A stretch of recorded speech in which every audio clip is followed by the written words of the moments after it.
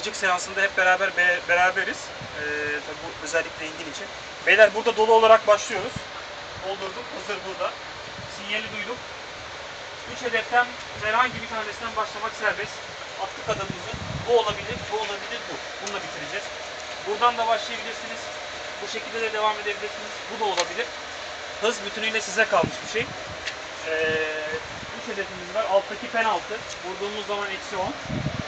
Diğerleri normal klasik IPS'i.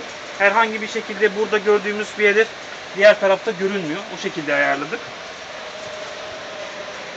Ee, toplam 10, 20, 30 puan var maksimum.